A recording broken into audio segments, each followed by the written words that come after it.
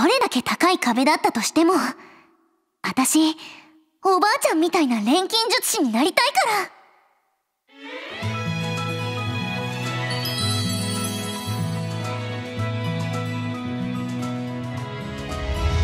ら。アトリエ不思議の錬金術師トリロジーデラックス約束したからクラフトの記憶は私が取り戻すってこれからよろしくお願いします。ソフィー？うん。よろしくねプラフター。ソフィーさん着てる服が違う？これ錬金術にも当てはまるのかも。どの釜がいいかな？私見てみたい。もっともっといろんなところ見て回りたい。お空の下を自分の足で旅してみたいんです。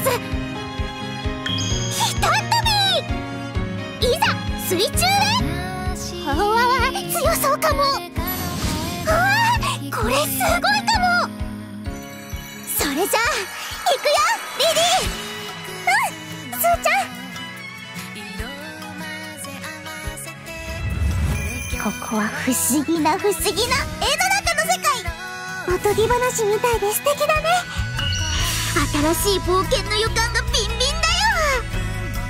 私はネルケ。このベストバルトの担当管理官を務めています。ベストバルトを発展させることはネルケさんの夢なんですよね。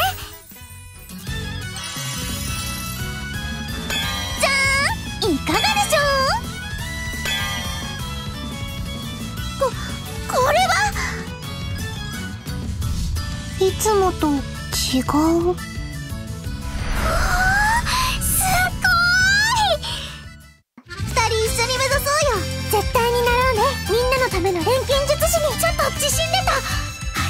明日の試験頑張るぞ。一緒にさみんなが幸せになれる道を探そうよ。アトリエ。不思議の錬金術師トリロジーデラックス。2021年4月発売。